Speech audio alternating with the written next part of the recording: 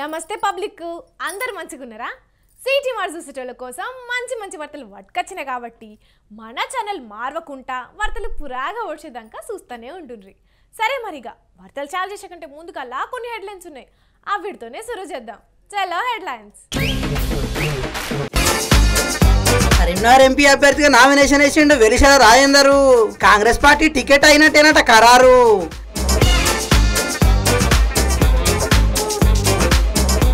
CM Revanth Reddy అన్నాడు ముఖ్యమంత్రి అయ్యే అర్హత వెంకటరెడ్డికి ఉన్నదని. కోమటిరెడ్డి బ్రదర్స్ అభిమానులు ఖుషి అయ్యిర్రు సీఎం మాటలిని. ఏఎస్ఐ మేడం కౌగులించుకున్నది ఎంపీ అభ్యర్థి మాధవిలతను. నిబంధనలు పట్టించుకోలేదని సిపి చేసిండు సస్పెన్షన్.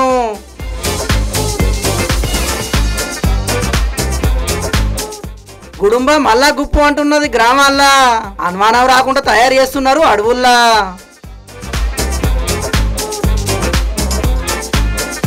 గాడిదలు కాస్తానంటున్న గంగులు. గాడిదలకి చుట్టుముట్టు ఏడుంటాయో చెప్పు.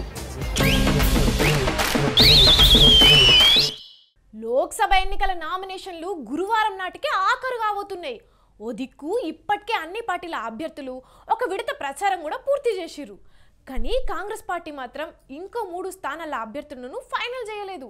కాకుంటే ఇవాళ ఓ అభ్యర్థి మాత్రం కాంగ్రెస్ పార్టీ తరపున అనధికారికంగా నామినేషన్ కూడా వేసిండు. అదేంది? టికెట్ ఇవ్వకుండా నామినేషన్ ఎట్లేసిండని అంటారా? అయితే ఈ వార్త చూడాల్సిందే.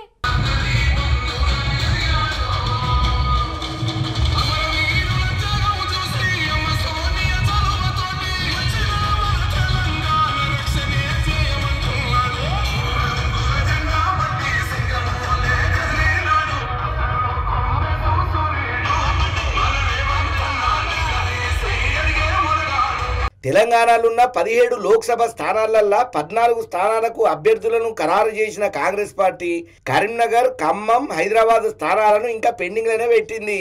కాకుంటే ఇవాళ మంత్రి పొన్నం ప్రభాకర్ ఎమ్మెల్యేలు ఆది శ్రీనివాస్ కల్వపల్లి సత్యనారాయణ మేడిపల్లి సత్యంతోని కలిసి కరీంనగర్ ఎంపీ అభ్యర్థిగా వెలిశాల రాజేందర్ రావు నామినేషన్ వేసిండు. ఈ నామినేషన్ కార్యక్రమంలో కాంగ్రెస్ పార్టీ లీడర్లు కార్యకర్తలు కూడా భాగమందే పాల్గొన్నారు. అంటే కాంగ్రెస్ పార్టీ తరఫున వెలిచాల రాజేందర్ రావుకే టికెట్ ఖరారైనట్టేనని చెప్పి కార్యకర్తలంతా చర్చించుకుంటున్నారు. కాంగ్రెస్ పార్టీ పెద్దల నుంచి గ్రీన్ సిగ్నల్ వచ్చింది కాబట్టే కాంగ్రెస్ పార్టీ ప్రజా ప్రతినిధులు ఈ కార్యక్రమంలో పాల్గొన్నారు. ఈ స్థానం నుంచి మాజీ ఎమ్మెల్యే అల్లిరెడ్డి ప్రవీణ్ రెడ్డి పోటీ చేయనిగా తీవ్రంగా ప్రయత్నం చేసిండు గాని ఆఖరకు మంత్రి పొన్నం ప్రభాకర్ మాటే నెగ్గింది. ఇక అట్లనే అటు ఖమ్మం గంచి పోటీ చేసేటోళ్ళ పేరు రోజుకొకటి తెర మీదకి వస్తున్నది. మంత్రి పొంగులేటి సీనన్న సోదరుడు ప్రసాద్ రెడ్డికి ఖరారు అయ్యిందని చెప్పి ఓ దిక్కు ప్రచారం చేసుకుంటుంటే ఇప్పుడు మాజీ మంత్రి మండప వెంకటేశ్వరరావు కూడా ఖమ్మం ఎంపీ బరిలో ఉన్నాడని చెప్పి అంటున్నారు. ఇక అటు హైదరాబాద్లో కూడా ఇప్పటికే మూడు ప్రధాన పార్టీల అభ్యర్థులు ఓరాఓరిగా తలబడుతున్నారు కానీ కాంగ్రెస్ పార్టీ నుంచి అభ్యర్థి ఎవరనేది మాత్రం ఖరారు కాకపోయే వరకు కార్యకర్తలలో పెద్దగా జోస్ కానస్తలేదు. హైదరాబాద్ స్థానం నుంచి కూడా రోజుకొక పేరు తెర మీదకి వస్తున్నది. మరి ఇక నామినేషన్లు కూడా దగ్గర పడుతున్నాయి కాబట్టి ఇక రేపో మాపో కాంగ్రెస్ పార్టీ అధికారికంగా ప్రకటించేదానిక ఈ సస్పెన్స్ ఇట్టనే కొనసాగేటట్టున్నది మరి. చూద్దాం ఎవరు నిలబడతారో ఎవరు గెలుస్తారో ఎవరు ఓడుతారో.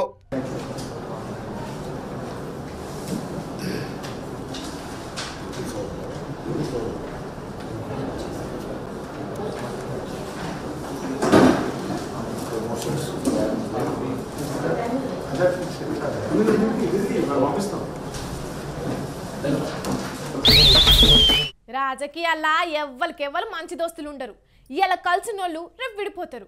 పొట్టు పొట్టు తిట్టుకున్న వాళ్ళు మళ్ళా కలిసిపోయి కౌగులించుకుంటారు. రాజకీయం అంటేనే అట్లా ఉంటుంది మరి. ఇట్లా చేసేటోళ్ళను ఎంతమందిని చూడలేదు మనం చెప్పుర్రి? అందరిది ఒక ఎత్తు అయితే రేవంత్ రెడ్డిది కోమటిరెడ్డి బ్రదర్స్ అయితే ఇంకో ఎత్తు. ఎందుకంటారా? అయితే మీరు వార్త చూడాల్సిందే. మీ అభిమాన నాయకుడు కోమటిరెడ్డి వెంకటరెడ్డి గారు ఆనాడు మంత్రి పదవిని త్యాగం చేసి నల్గొండ గడ్డ మీద ఆమరణ నిరాదీక్ష చేసి చావు నోట్లో తలకాయ పెట్టి తన అధిష్టానాన్ని కూడా తెలంగాణ కోసం ఎదిరించి నిలబడి తెలంగాణ రాష్ట్రాన్ని సాధించిండు. విన్నారు కదా పబ్లిక్ సీఎం రేవంత్ రెడ్డి సారే స్వయంగా కోమటిరెడ్డి వెంకటరెడ్డి గురించి ఎంత గొప్పగా చెప్తున్నాడో. ఒక్క వెంకటరెడ్డి గురించే కాదు ఇంకో పక్కున్న రాయగోపాల్ రెడ్డి గురించి కూడా ఏం మాట్లాడిండో ఇనుండ్రి వాడెవడో సన్నాసి భూమికి మూరేడు లేడు. ఎంకన్నా మస్క కొడుతుండు మంత్రి పదవి కోసం రాజగోపాల్ మస్క కొడుతుండు అంటారు ఆ సన్నాసికి ఒక్క మాట చెప్పదలుచుకున్నా నేను. దొరగారి గడిలో సారాలో సోడా పోసి కాదు వాళ్ళు వచ్చింది. కోమటిరెడ్డి బ్రదర్స్ రక్తాన్ని చెమటగా మార్చి భుజాలు కాయలు కాసేలా మూడు రంగుల జెండాను మోసి నాయకులుగా ఎదిగినరు. వామ్మో సీఎం రేవంత్ రెడ్డి కోమటిరెడ్డి బ్రదర్స్ను మామూలుగా లేపుతలేడు కదా. వాళ్ళు కూడా సీఎం ఇట్లా మాట్లాడతాడని అనుకోలేదు కావచ్చు పోండ్రి. ఇక ఈ మాటలతోనే అయిపోలేదు వెంకటరెడ్డి గురించి ఇంకా ఏమన్నాడో ఇనుండ్రి వాస్తవంగా నాతో పాటు ఎవరైనా ముఖ్యమంత్రి పదవికి అర్హత ఉందంటే అది కోమటిరెడ్డి వెంకటరెడ్డి గారికి అని చెప్పి నేను మనస్ఫూర్తిగా చెప్తున్నా. ఏహేపో ఇంకా నమ్మకంలా మామూలు ఆనందం లేదు కదా. రేవంత్ రెడ్డి సీఎం అయ్యే అర్హత వెంకటరెడ్డికి ఉన్నదని చెప్పే వరకు వెంకటరెడ్డి నిజంగానే సీఎం అయినంత ఖుషి అవుతున్నాడు పోండ్రి. కానీ ఇప్పుడు ఇద్దరు అన్నదమ్ములను ఇంతగానం వస్తున్న రేవంత్ రెడ్డి ఎన్నికలకు ముందు మాత్రం బాగానే విమర్శించిండు. నేను ఐపీఎస్ ఆఫీసర్ లాంటోని డైరెక్ట్ పీసీసీ అధ్యక్షుడిని అయినా. వాళ్ళు హోంగార్డుల లాంటోళ్ళు ఎన్ని రోజులు ఉన్నా వాళ్ళు అట్లనే ఉంటారని అనికొచ్చిండు ఇక అటు వెంకటరెడ్డి కూడా యాభై కోట్లు పెట్టి పిసిసి పదవి కొనుక్కున్నాడని రేవంత్ రెడ్డిని ఉత్తగానే తీసి పారేసిండు. ఇక రాయగోపాల్ రెడ్డి అయితే ఏకంగా పార్టీకి ఎమ్మెల్యే పదవికి రాజీనామా చేసి బీజేపీలో ఏరిండు కాకుంటే ఇప్పుడు కాంగ్రెస్ పార్టీ అధికారంలోకి వచ్చి రేవంత్ రెడ్డి సీఎం అయ్యే వరకు ఇప్పుడు అదే ఇద్దరు బ్రదర్స్ రేవంత్ రెడ్డికి కుడి భుజం ఎడవ భుజం లెక్కనే మారిండ్రు. అంటే చూడండి రాజకీయాలు ఎవరిని ఎట్లయినా మారుస్తాయనేది దీన్ని బట్టే మంచిగా అర్థం చేసుకోవచ్చు. అంతే కదా రాజకీయాల్లో అవసరాలు అనేది మిత్రులను చేస్తుంది శత్రువులను కూడా చేస్తుంది. కానీ రేవంత్ రెడ్డి భువనగిరి జనాలను ఖుషి చేయడానికి కోమటిరెడ్డి వెంకటరెడ్డి సీఎం అవుతాడని అన్నాడు గాని నిజంగానే సీఎం అయితే మాత్రం ఈ మాటలు ఇంకో తిరిగత్తేనని అనుకోబట్టిర్రు. వీళ్ళు ఇదివరకు మాట్లాడిన మాటలు యాదికొచ్చిన జనాలు. చూడాలి మరి ఈ బంధం ఇంతే అన్యోన్యంగా ఎన్ని రోజులు ఉంటుందో ఏం కథనో.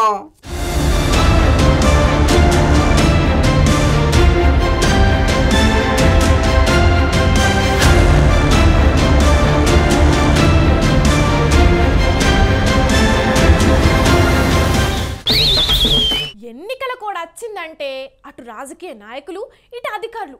అందరూ జాగ్రత్తగా ఎవ్వరి పని వాళ్ళు చేసుకోవాలి. ఎన్నికల నిబంధనలు తూచా తప్పకుండా పాటియాలి ఏమన్నా నెట్టమటం చేసిర్రంటే ఉత్తగా ఆగమయ్యే పరిస్థితి ఉంటుంది. ఈ ముచ్చట అందరికీ తెలిసిందే అయినా కూడా కొంతమంది అధికారులు మాత్రం లీడర్ల మెప్పు పొందేటందుకు ఏదో చేయబోయి పరిశ్రమలో పడతారు. అగ్గో అసొంటి వార్తనే మన సిటీ మరలకు పట్టుకొచ్చినాం. చలో చూడుర్రి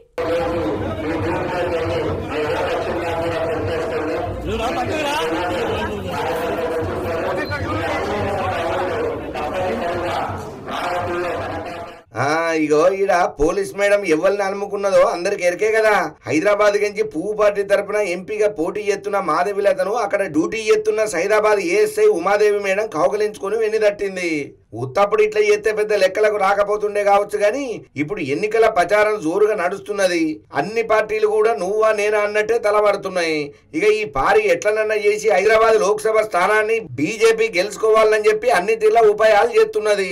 ఇటువంటి పరిస్థితులలో చక్కగా నిధులు నిర్వహించాల్సిన ఈ పోలీస్ మేడము మాధవిలతకు సపోర్ట్ చేసినట్టుగా కౌగులించుకునే వరకు ఆమెను సస్పెండ్ చేస్తున్నట్టు హైదరాబాద్ సిపి శ్రీనివాస్ రెడ్డి సారు ఇలా ఉత్తర్వులు ఇచ్చిండు ఎన్నికల్లో ఇవాళ ఆచితూచి పని చేయకుంటే వేటు తప్పదని చెప్పి హెచ్చరిక కూడా చేసిండు. ఇక ఇప్పటికే మొన్న శ్రీరామ నవమి నాడు మసీద్ మీద బాణం ఎక్కుపెట్టినట్టు పోజిచ్చిన మాధవిలత మీద కొంతమంది గుర్రు గుర్రుమంటున్నారు. మా మనోభావాలు దెబ్బతినేటట్టు చేసిందని చెప్పి ఆమె మీద చర్యలు తీసుకోవాలని చెప్పి పోలీస్ స్టేషన్ లా కేసు కూడా అయ్యింది.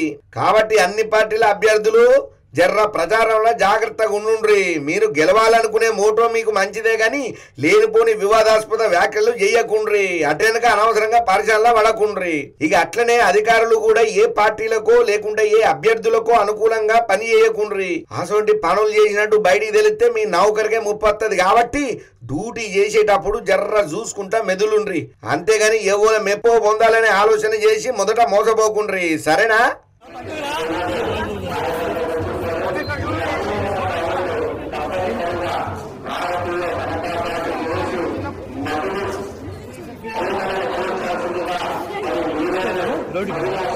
అలా వర్షాలు జయ్యంగా పాపం.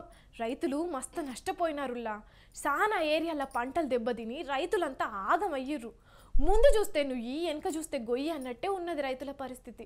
రైతులు ఇంత ఇబ్బంది పడుతున్నా? సర్కారు మాత్రం సీమ గుట్టినట్టు కూడా అయితలేదని రైతులు గరానికి కత్తున్నారు. కానీ దెబ్బతిన్న పంటలు చూస్తే మాత్రం మస్తు బాధ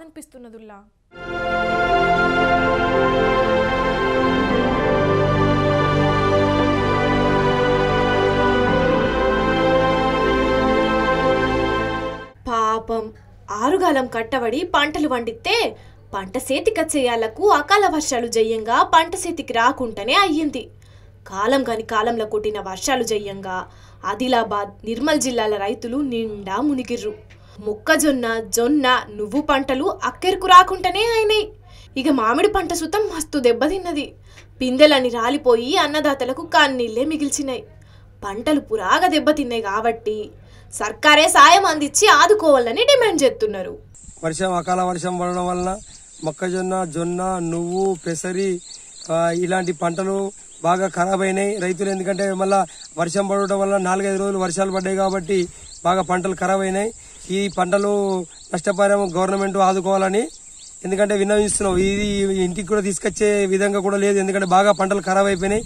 రైతులకు ఎలాగో ఒక్క తీరుగా గవర్నమెంట్ ఆదుకోవాలని కోరుతున్నాం ఇన్నరా? పాపం.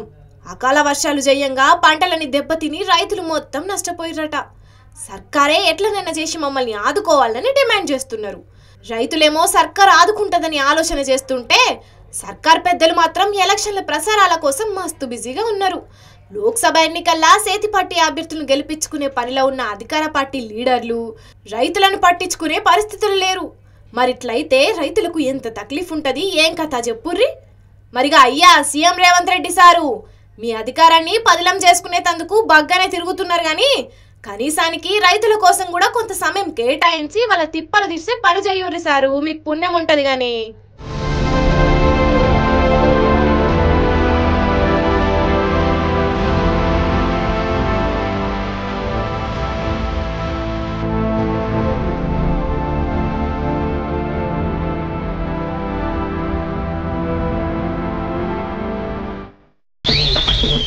తెలంగాణ పల్లెల్లో ఒకప్పుడు గుడుంబ వసన గుప్పుమనేది ఏ పల్లెకు పోయినా గుడుంబ బట్టలు కానొచ్చేది. సారాయి అమ్మకాలు కూడా జోరుగా సాగేది. కాకుంటే పోయిన సర్కారు అసలుకు తెలంగాణలా గుడుంబ అనే మాట వినలేకుండా చేసింది. గుడుంబ తయారు చేసిన గుడుంబ అమ్మిన కేసులు పెడుతుండే కాబట్టి గుడుంబ అనేది దాదాపు మాయమైంది. కాకుంటే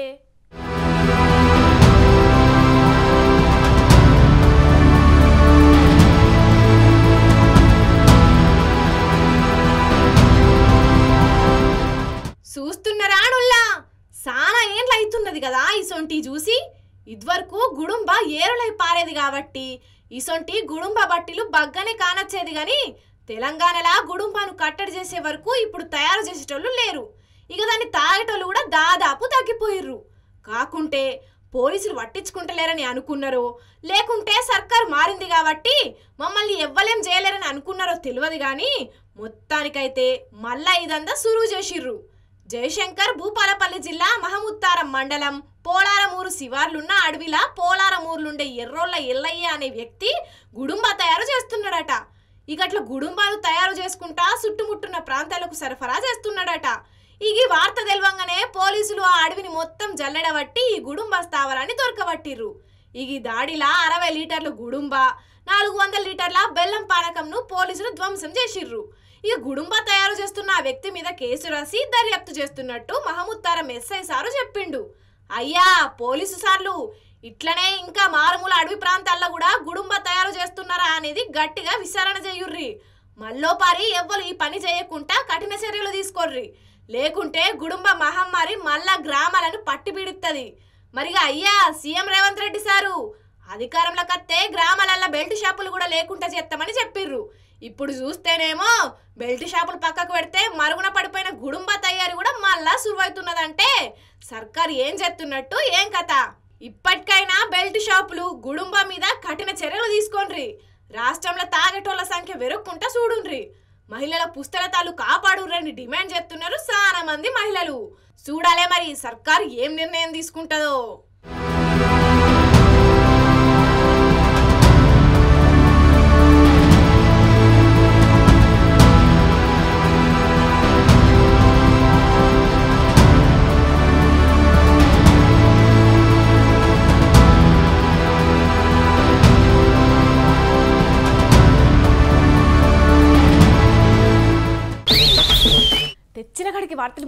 చెప్పేసిన కాబట్టి మళ్ళొక్కపారి హెడ్లైన్స్ చూసేయుర్రి కరీంనగర్ ఎంపీ అభ్యర్థిగా నామినేషన్ వేసిండు Velishala Rajender. Congress party ticket అయినట్టేనట ఖరారు.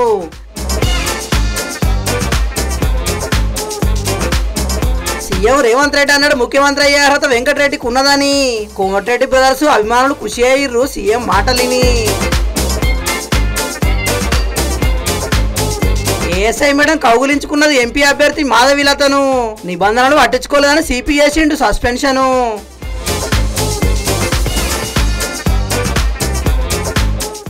గుడుంబ మళ్ళా గుప్పు అంటున్నది గ్రామాల్లో. అనుమానం రాకుండా తయారు చేస్తున్నారు అడవుల్లా.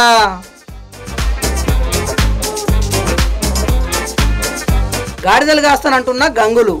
గాడిదలకి చుట్టుముట్టు ఏడుంటాయో చెప్పు ఇక ఇవాళ ఇవాళ సిటీ మరి వార్తలు. మేము చెప్పిన జబర్దస్త్గా ఉన్నాయిలే. ఇంకెన్ని మంచి మంచి ముచ్చట్లతోని మళ్ళా కలుద్దాం. అప్పటిదాకా చూస్తూనే ఉంటుంది మన స్వతంత్ర టీవీ. ఉంటాం మళ్ళా.